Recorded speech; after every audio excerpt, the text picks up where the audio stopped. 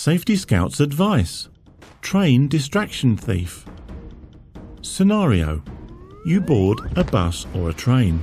A stranger distracts you by creating a commotion or by asking you something while his accomplice steals your laptop or your bag.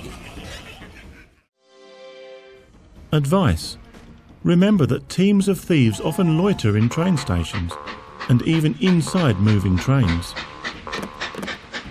Avoid storing your bag or luggage out of your line of sight and pay attention to them, especially when there is a commotion or a stranger asks you a question.